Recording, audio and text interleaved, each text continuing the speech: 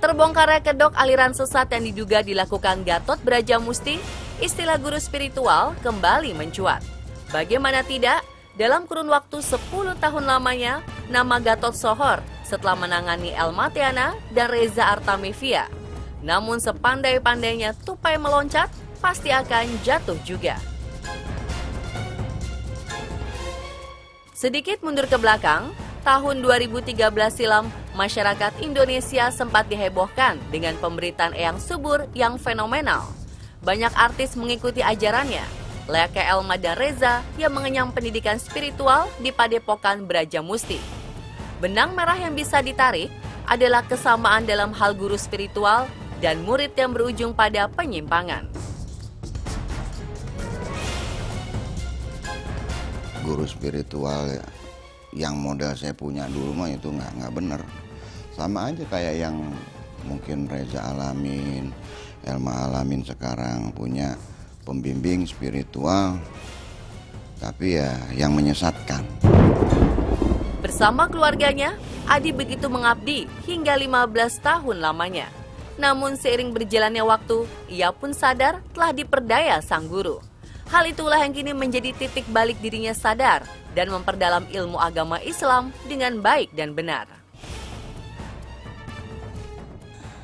ini flashback sedikit nih ya ke belakangnya kalau orang sengaja ataupun ya sengaja lah ingin mencari pengalaman kayak saya sampai 15 tahun begitu mungkin nggak akan sanggup ya tapi Allah telah membikinkan saya ya satu cerita sampai saya mengenal Allah itu dahsyat banget. Banyak yang dikorbankan Adi saat itu demi pengabdian. Tak hanya miskin akhlak, harta dan pikiran pun ikut terkuras. Namun tak ingin larut dalam penyesalan, ia ikhlaskan semua demi pencarian Tuhan yang sesungguhnya. Tenaga, pikiran, ya harta, segala macam itu udah boleh dibilang ya kita udah terbebani gitu.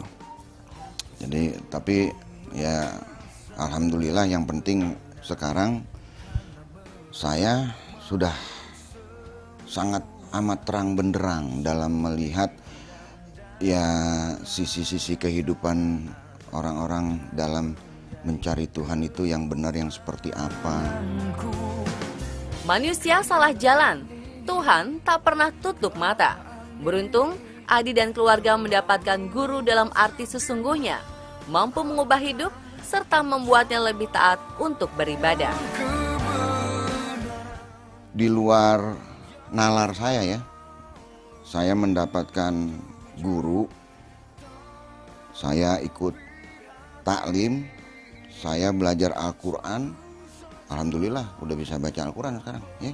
Terus ya kita menjalankan apa yang diperintah Allah, baik itu puasanya, zakatnya, infaknya, itu ya namanya masih belajar kadang-kadang ya ya tetap aja setan mencoba mengganggu. Cuma yang penting kita udah di track yang benar. Nah itu caranya mungkin Allah menyelamatkan kita. Ibarat kata mobil ini udah dirusak. Kalau nggak dapat montir yang benar, waduh itu makan waktu lagi. Kini perubahan ia rasakan setelah berhijrah. Meski demikian, Adi mengaku masih terus belajar agar tetap istiqomah.